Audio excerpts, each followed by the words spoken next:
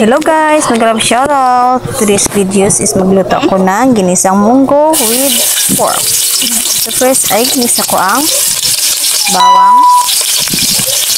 Ayan. Then, mix natin yung bombay.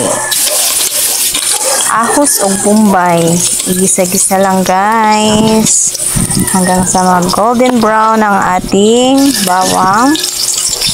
Ayan. Saute lang ng saute. And next natin yung ating pork. Ayan.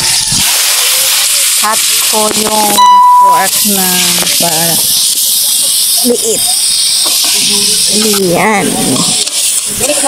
Lagyan natin yan ng asin at magic sarap para lumasa ang ating baboy. Then, gisahin lang onte. Gisahin lang, gisahin lang, gisahin lang, gisahin. At ito na guys, ilagay na natin sa ating nilagang munggo. So, yan. guys. Then, mix lang natin at pakuluin. Guys, hintayin lang natin yan na. Ayan na siya guys. So, buksan na natin ang ating kumukulong munggo na may pork.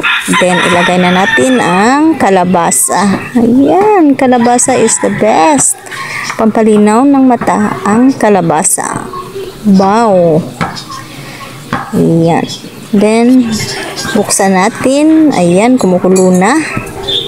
Kumukulo, kulo na. Kumukulo, kulo na. Kumulo na ang ating kalabasa. Lumalamot-lamot. Lagyan na natin ng nor cubes.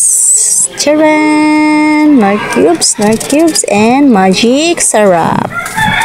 Ayan guys. Then, asin.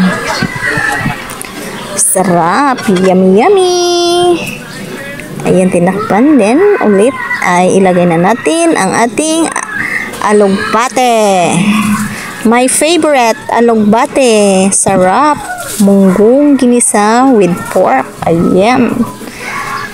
Sus, kalami. Ah, kalami agyod. Sang ako ang munggong ginisa. Oh, tanawan nyo guys. Oh, kay labo-labo pagid ng akon nga kalabasa. So, ayan na ang aking recipe for this afternoon. Ginisang munggo with matching sahog na baboy. Ayan. Try nyo din lutuin sa inyong bahay guys. And tiyak na mapapasarap yung mga kain ng anak nyo. So yan lamang po. Thanks for watching. Keep safe everyone. Don't forget to follow me. God bless. Bye-bye.